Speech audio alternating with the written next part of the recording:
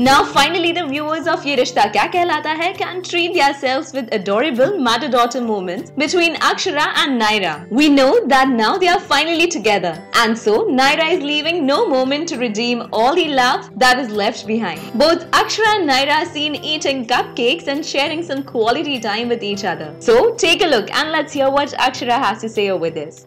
अभी एक्चुअली नायरा और अक्षरा का पैचअप हुआ है तो ज़्यादातर सीन्स नायरा और अक्षरा के ही हैं, जहाँ पर हम खुश हैं, बहुत प्यार कर रही है नायरा मुझे, बहुत ज़्यादा पैम्पर कर रही है। और गायू की इनसिक्योरिटी गायू थोड़ा लेफ़्ट आउट फील कर रही है।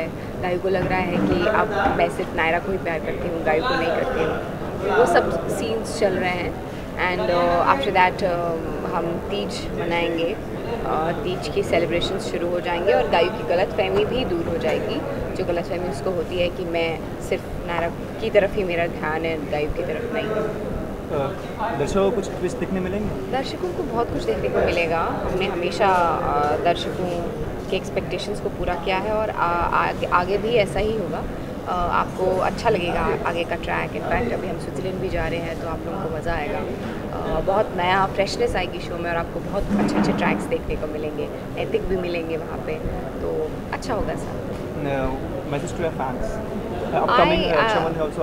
Raksha Bandhan भी आ रहे हैं आ, आ रहा है रक्षाबंधन के लिए भी आप लोगों को बेस्ट विशेस एंड मेरे फैंस के लिए बायर के कैच के जितने भी फैंस हैं as we always said we we love you all and thank you for making it possible ये रिश्ता क्या कहलाता है को इतना प्यार देने के लिए thank you What do you feel on this story? Leave your comments below. And for more television updates, subscribe our channel TV Prime Time.